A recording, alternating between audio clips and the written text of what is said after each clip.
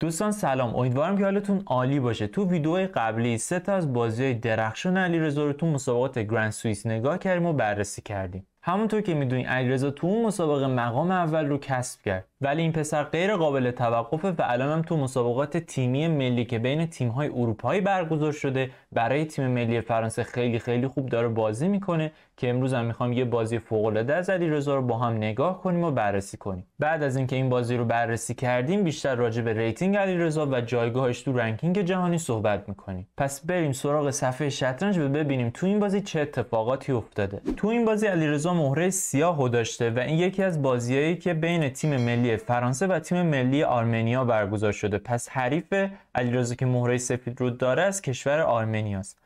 بازیکن سفید بازی رو با حرکت دی چهار شروع کرده. و تو این بازی هم هر دو تا بازیکن عالی بازی کردن و یه بازی خیلی خوبه ولی خب علیرضا کمی بهتر بازی کرد و در آخر تونست حریف خودش رو شکست بده. بازی رو هم همینطوری گفتم این سری از سمت سفید ببینیم با اینکه علیرضا سیاه ببینیم حریفای علیرضا وقتی مقابلشن چه حسی دارن خب بعد از حرکت دی 4 علیرضا حرکت دی 5 رو انتخاب کرده سفید حرکت سی 4 رو انجام داده و سیاه حرکت سی 6 رو انجام داده که به دفاع اسلاو معروفه. اگه دوست دارین بدونین که بجز دفاع اسلاو چه دفاع های دیگه مقابل حرکت یک d4 وجود داره می‌تونین ویدئوی گشایش های پرطرفدار مقابل حرکت یک d4 من رو که تو کانال گذاشتم تماشا کنید. لینکش رو داخل description می‌ذارم. از لینک بالای صفحه هم می‌تونید وارد شین و ویدیو رو تماشا کنید.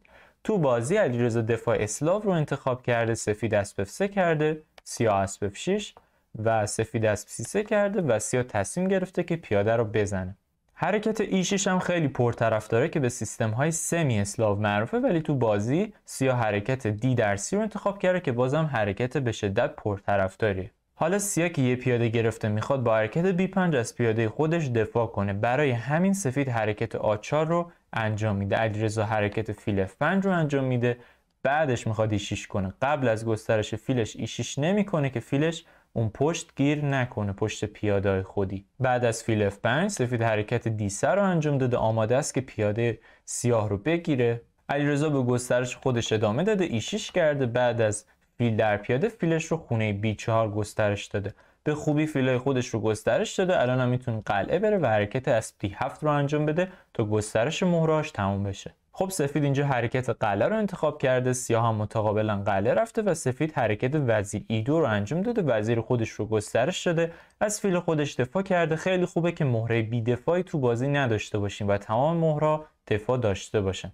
سیاه اینجا حرکت فیل جیشیش رو انتخاب کرده. چون بچه سفید احتمال خیلی زیاد تو خیلی از شاخها می‌خواد حرکت ای 4 رو انجام بده. و حرکت ای 4 با ضربه به فیل همراهه. برای همین سیاه فیلش رو خونه جیشیش گذاشته تا وقتی سفید ای 4 کرد فیلش ضربه نخوره.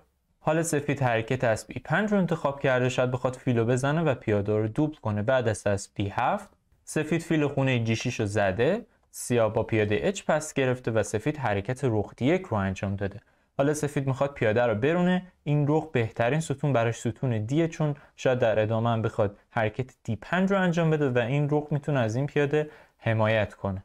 سیاه هم وزیر خودش رو گسترش داده. وزیر سی 7 و رخهاش رو به هم متصل کرده. حالا سفید حرکت E4 رو انجام داده. شاید بخواد حرکت E5 رو هم حتی انجام بده تا فضای بیشتری از سیاه بگیره. برای همین سیاه حرکت E5 رو خودش انجام داده. حالا اگه سفید بخواد پیاده رو بزنه خب علیرضا می‌تونه با اسب بزنه و جای اسبش خوب میشه. برای همین سفید پیاده خودش رو به خونه D5 رونده. حالا اینجا سیاه حرکات مختلفی داره. یعنی حرکات خوب یه دونه دوتا نیستن. چند تا حرکت خوب و انتخاب خوب سیاه داره. ولی علیرضا تو بازی حرکت فیل در اسب رو انتخاب می‌کنه. حالا بچه سفید دو تا انتخاب داره. یکیش اینه که فیل رو بزنه ولی این تنها حرکت نیست. اگه فیل رو بزنه احتمالا سیاه هم سرباز رو می‌زنه و این تنش از توی مرکز حذف میشه. سفید می‌تونه قبل از اینکه فیل رو بزنه حرکت دیشیش رو انجام بده. حالا وزیر زیر ضربه سیاه باید به این تهدید واکنش نشون بده و بعد می‌تونه سفید پیاده رو بزنه. که این حرکتی هم هست که بازیکن سفید انتخاب کرده. دی 6 و علیرضا وزیرش رو خونه آ5 گذاشته. حالا سفید باید فیل رو بزنه وگرنه سیاه فیلش رو جابجا می‌کنه فیل رو زده. حالا زدن این سرباز خیلی سودی برای سیاه نداره و فقط کمک می‌کنه که سفید مهرهای بعدیش رو هم گسترش بده. علیرضا حرکت B5 رو انتخاب کرده به فیل داره حمله می‌کنه و نکته هم داره استفاده می‌کنه که سفید نمی‌تونه پیاده رو بزنه به خاطر اینکه پیاده آچمزه و سفید رخ خودش رو از دست میده. خب سفید فیلش رو برگردونده خونه آدو. بچه سیاه نمی‌تونه با وزیر بزنه چون بعد از فیل در اف کیش سیاه وزیر خودش رو از دست میده. علیرضا با پیاده سرباز رو زده و الان علیرضا یه پیاده بیشتر داره. بازیکن سفید حرکت فیل آسر رو انتخاب کرده. فیلش رو داخل خونه خوبی گذاشته پیادهش داره حمایت می‌کنه و در کل فیلای خیلی قدرتمندی داره. علیرضا برای پیاده دوم هم میره. در واقع یه جور قربانی پیاده بود و یه جوری داره به علیرضا میگه اگه جرأت داری پیاده بعدی رو هم بزن. که علیرضا اینو قبول می‌کنه و پیاده سیسه رو هم می‌زنه. الان علیرضا دو پیاده جلوه. ولی خب وضعیت سفیدم وضعیت خیلی خوبیه. فیلاش فوق العاده قوی و رخهای خوبی هم داره و یه پیاده هم داخل خونه دیشیش داره که پیاده رونده و فعلا متوقف شده مسیرش ولی می‌تونه در آینده مهره خوبی باشه. پس سفید و سیاه تا اینجا هر دو خوب بازی کردن. سفید حرکت افسر رو انجام میده تا وضعیتش رو مستحکم کنه. از پیاده ای 4 خودش هم داره دفاع می‌کنه. سیاه حرکت رخ بی 8 رو اینجا انجام میده و سفید حرکت رخ سی 1 رو انجام میده. وزیر زیر ضربه بچه دوباره سیاه نمی‌تونه فیل رو بزنه. به خاطر اینکه بعد از فیل در F7 سیاه وزیر خودش رو از دست میده. سیاه حرکت وزیر دی 4 رو انتخاب کرده. به شاه سفید کیش داده سفید حرکت شاه چک رو انجام داده و حالا سیاه حرکت C5 رو انجام داده تا قطر این فیل رو ببنده و الان بچه پیاده دیشیش هم زیر ضربه. سفید دوباره رخش رو برگردونده خونه دی 1 به وزیر داره حمله می‌کنه و از پیاده دیشیش هم دفاع کرده. سیاه وزیرش رو جابجا می‌کنه. سفید دوباره رخ سی 1 می‌کنه و بعد از وزیر آ5 دوباره رخش رو داخل خونه دی 1 می‌ذاره. شاید بهتر از این می‌تونست بازی کنه. مثلا به جای این مانور رخ سی 1 رخ دی 1 مثلا به جایی که الان رخ سی کنه می‌تونست فیل سی 4 کنه. شاید option بهتری بود ولی خب بازیکن سفید حرکت رخ سی رو انتخاب کرده. بعد وزیر آ5 دوباره رخش رو داخل خونه d1 گذاشته. حالا علیرضا وزیر b5 کرده و پیشنهاد تعویض وزیرها رو به سفید داده. اگه وزیر رو تعویض شاید این پیاده های سیاه نقش پررنگتری تو ادامه بازی بتونن داشته باشن. و سفید با حرکت فیل 4 این پیشنهاد وزیر به وزیر رو رد کرده. جالبه که سیاه اینجا دو تا پیاده رونده داره که هر دوتاش با فیل های سفید راهشون مسدود شده و نمی‌تونن تکون بخورن. حالا سفید اینجا حرکت رخ سی رو انجام داده رخش رو هم داخل ستون بهتری قرار میده.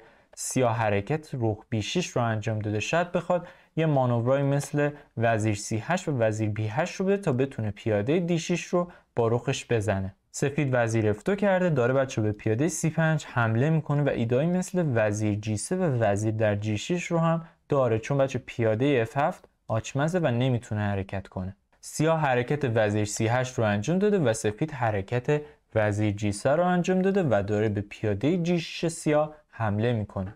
حالا علیرضا اینجا یه حرکت فوق العاده رو انجام میده که از پیاده جی 6 هم به طور غیر مستقیم و خیلی جالبی دفاع می‌کنه.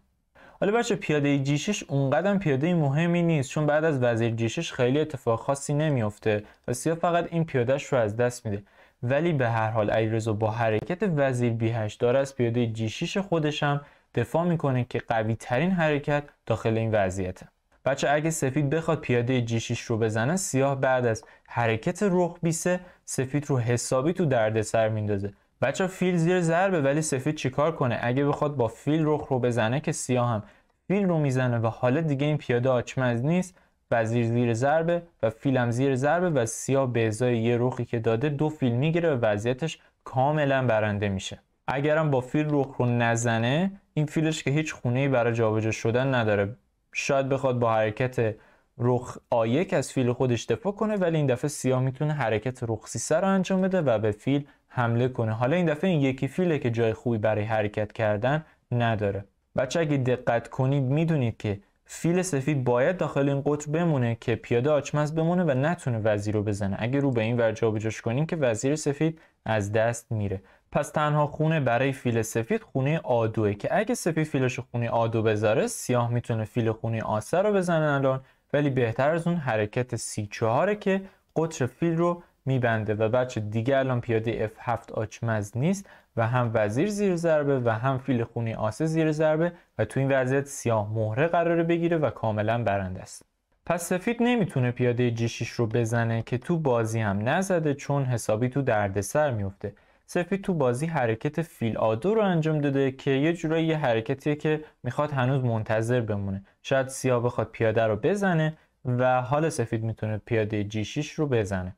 که تو بازی هم دقیقا همین اتفاق افتاده. سیاه وزیرش رو خونه بی 8 گذاشته یکی از اهدافم زدن همین پیاده دی 6 باشه. علیرضا پیاده دی 6 رو زده سفید حالا پیاده جی 6 رو زده به خاطر اینکه دیگه حرکاتی مثل رخ بی 6 وجود نداره. حالا علیرضا تصمیم گرفته که رخ رو تعویض کنه و حرکت وزیر بی 5 رو انجام داده که حرکت خیلی خطرناکیه. حالا وزیر بچه می‌تونه خونه ایدو بیاد که هم به رخ حمله کنه و هم به فیل حمله کنه و با سفید تو دردسر میفته سفید وزیرش رو خونه بی 5 گذاشته سیاه وزیر ایدو کرده و سفیدم وزیرش رو برگردونده داخل خونه دیدو گذاشته تا از مهرای خودش دفاع کنه. حرکت رخ آیک هم وجود داشت ولی خب این رخ دیگه خیلی غیر فعال میشه و منطقی نیست این کار رو انجام بدیم. برای همین سفید حرکت وزیر دیدو رو انجام داده. و علی رضا هم با تعویض وزیرها وارد این آخر بازی شده که داخل تصویر می‌بینیم. علیرضا حرکت منطقی رو انجام میده رخ سی هشت می‌کنه رخ خودش رو گسترش میده فعال می‌کنه و پشت پیاده رونده خودش می‌ذاره تا بتونه این پیاده رو به سمت وزیر شدن برونه. حالا سفیدم از اون طرفی حرکت منطقی رو انجام میده و شاه جی یک می‌کنه. همونطور که خیلی تو می‌دونین داخل آخر بازی فعالیت شاهی فاکتور خیلی خیلی مهمه و تو خیلی از بازیان برنده و نتیجه بازی رو همین فعالیت شاه مشخص می‌کنه. برای همینم سفید سعی کرده خیلی سریع شاهش رو فعال کنه. ولی حرکت بهتر حرکت رخسیدو بود. سفید با حرکت رخسیدو یه جورایی داره کار رو برای سیاه سخت می‌کنه. این اسب که الان نمی‌تونه حرکت کنه به خاطر اینکه پیاده سی 5 زیر ضربه و پیاده رو هم سیاه نمی‌تونه برونه چون با فیل یا با رخ می‌تونیم این پیاده رو بزنیم. و حالا بعد از حرکت رخسیدو سفید می‌تونست شاهش رو خیلی سریع فعال کنه. پس حرکت رخدیدو حرکت بهتری بود. چون بعد از حرکت شاهچیه که تو بازی انجام شد سیاه پیاده خودش رو رونده. حالا سفید رخصیدو کرده ولی اینجا سیاه یعنی علیرضا با حرکت از بیشیش از پیاده خودش دفاع کرده و این وضعیت برای سیاه وضعیت خوبیه. سفید شاه F2 کرده علیرضا اسبش خونه دی 7 گذاشته و بعد از شاه ایسه اسبش خونه سی 5 گذاشته. بچه علیرضا داره عالی بازی می‌کنه و حرکاتی که انتخاب می‌کنه بهترین حرکات داخل این وضعیتن. حرکت از سی 5 حرکت خیلی خوبیه. بچه این پیاده زیر ضرب نیست چون اگه سفید بخواد با فیل این پیاده رو بزنه یه اسب ایشیش خیلی ساده. حالا سفید چیکار کنه؟ فیلش زیر ضربه. اگه بخواد با حرکت شاه دیسه دفاع کنه که بعد از اسب F4 دیگه نمی‌تونه مدافع فیل بمونه. یا بعد به این سخونه برگرده که فیل خودش رو از دست میده یا بیاد پشت فیل که بازم فیل خودش رو از دست میده و وضعیتش کاملا بازنده است. و فیل رو هم سفید نمی‌تونه جابجا کنه به جای حرکت شاه دیسه حرکت فیل دیسه هم وجود نداره به خاطر اینکه سیاه رخها رو تعویض می‌کنه و با حرکت اسب سی 4 فیل و شاه حریف رو چنگال می‌کنه و دوباره سفید مهره از دست میده و کاملا بازنده است. پس بچه پیاده سیاه داخل خونه سی 4 غیر قابل زدنه و سفید به هیچ وجه نمی‌تونه این پیاده رو بزنه چون بعد از اسب پیشیش حسابی تو دردسر میفته و مهره از دست میده. سفید حرکت فیل بی دو رو انجام داده. به پیاده 5 داره حمله می‌کنه. اگرزا حرکت از دیسه رو انجام داده و از پیاده خودش داره دفاع می‌کنه و فیل رو هم زیر ضرب قرار داده. سفید فیلش خونه سیسه گذاشته و سیاه حتی حرکت آسه رو هم انجام داده تا فضای بیشتری از سفید بگیره و پیادش رو یه خونه دیگه هم به سمت وزیر شدن برونه. حالا بچه تو این وضعیت حرکات سفید خیلی محدودن. سفید حرکت فیل دیدو رو انجام داده. علی رخ سی پنج کرده می‌خواد بچه رخش رو از داخل ستون بی فعال کنه به این طریق. سفید شاش رو برگردونده یه خونه عقب خونه ایدو و حالا علیرضا یکیش داخل خونه F4 داده. بچه حالا هم شاه کیشه و هم پیاده جیدو زیر ضربه. زدن اسب هیچ کمکی به سفید نمی‌کنه به خاطر اینکه این وضعیت برای سفید کاملا فلج شده است و وضعیت سیاه خیلی بهتره و در نهایت هم بازی رو خواهد برد. برای همین سفید با فیل اسب رو نزده حرکت شاه یک رو انجام داده تا از پیاده جیدو دفاع کنه. حالا سیاه حرکت رخ بی 5 رو انجام داده و دوباره پیاده سی 4 خودش رو بی دفاع گذاشته. و بازم این پیاده بچه قابل زدن نیست. اگه سفید بخواد پیاده سی 4 رو با فیل بزنه بعد از اسب در سی 4 رخ در سی 4 و آدو باید تسلیم شه چون جلوی پیاده آدو رو نمیشه گرفت. اگه رخ سی یک کنه که حالا رخ بی یک می‌کنیم و حرکت بعدی پیاده وزیر میشه اگه بخواد رخ و پشت پیاده بذاره بعد از رخ بی یکیش می‌تونیم پیاده رو وزیر کنیم و این وضعیت هم کاملا برای سیاه برنده است. شاید بهترین حرکت این باشه که فیل سیسه بکنه بعد از آدو فیل سیسه کنه ولی بازم سیاه می‌تونه تو عرض اول کیش بده و بعد پیاده رو وزیر کنه و فیل سفید رو بگیره. مثلا بعد از شایفتو پیاده رو وزیر می‌کنه و این وضعیت هم چون سیاه یه سوار بیشتر داره کاملا برنده است. پس بازم پیاده سی 4 غیر قابل زدنه پس سفید تو این وضعیت چه حرکتی رو انجام داده؟ حرکت فیل سی 1 حالا بچه پیاده آسه زیر ضربه و بازم علیرضا بهترین حرکت رو پیدا می‌کنه و تمام امیدهای سفید رو نابود می‌کنه و کاملا وارد یک وضعیت برنده میشه و اونم حرکت فوقالعاده رخ پیس است. از پیاده آسه دفاع کرده وضعیت کاملا فلج شده است برای سفید. بچه اگه بخواد سفید رخ رو بزنه بعد از سی در بی این وضعیت کاملا برنده است. این دوتا پیاده خیلی خیلی قوی همین الان یه زمان داره از سفید می‌گیره چون رخ سیر ضربه. بعد از حرکت رخ سیسه سیاه می‌تونه پیاده خودش رو برونه. سفید مجبور پیاده رو بزنه وگرنه وزیر میشه یا از این طریق وزیر میشه. و اگرم بزنه سیاه پس می‌گیره. بعد از رخ بیسه سیاه می‌تونه اسبش رو خونه سی چهار بذاره. در ادامه هم این پیاده وارد میشه. و سفید بازنده است و پیاده سیاه وزیر خواهند شد. پس سفید نمی‌تونه رخ رو بزنه و حرکت خوب دیگه هم نداره. تو بازی سفید حرکت رخ در سی چهار رو انجام داده. حالا اگه سیاه رخو بزنه سفیدم می‌تونه رخ سیاه بزنه که تو بازی هم همین اتفاق افتاده. علیرضا رخ خونه سی چهار رو زده که کاملا برای برد علیرضا کافیه ولی حرکت بهتری هم وجود داشت. حرکت رخ هم حرکت جالبیه. به خاطر اینکه بچه بعد از حرکت رخ دیسه یه تهدید کیش و زدن فیل رو داریم. مثلا اینجا رو نگاه کنین الان رخ سی ضربه و اگه سفید رخش رو جابجا کنه سیاه داخل خونه دیگه کیش میده. سفید یک انتخاب بیشتر نداره شافتو و سیاه می‌تونه فیل خونه سیک رو بزنه. اگه سفید این رخ رو پس بگیره با حرکت اسب دیسکیش شاه و رخ رو چنگال می‌کنیم و وضعیت نهایی برای سفید کاملا بازنده است. پس حرکت رخ دیسه حرکت جالبی بود. چون می‌خوایم اینجا کیش بدیم فیل رو بزنیم و در نهایت با اسب چنگال کنیم و وضعیت کاملا برنده میشه. ولی به هر حال تو بازی ایرزا حرکت اسب در سی رو انجام داد که کاملا هم برای برد کافیه. حالا سفید رخ رو زده و اینجا ایرزا حرکت مهمی رو انجام داده حرکت اسب دیسه. از فیل خودش دفاع نکرده به فیل سی یک سفید حمله کرده و این تعویض کاملا برای سفید بازنده است. حرکت بعدی سیاه حرکت آدو رو انجام میده. سفید مجبور فیلش رو بده و در نهایت هم اون وضعیت برای سیاه برنده است به خاطر اینکه سوار بیشتر داره و این پیاده هم رونده است. پس این تعویض برای سفید خیلی بده. تو بازی سیاه مجبور شده این فیل رو جابجا کنه چون بچه این فیل الان زیر ضربه. فیل G پنج کرده ولی تمام حرکات بعدی با تمپ انجام میشن. حرکت اسب آ5 به فیل داریم حمله می‌کنیم. بعد از اسب آ2 از B4 دوباره داریم به فیل حمله می‌کنیم.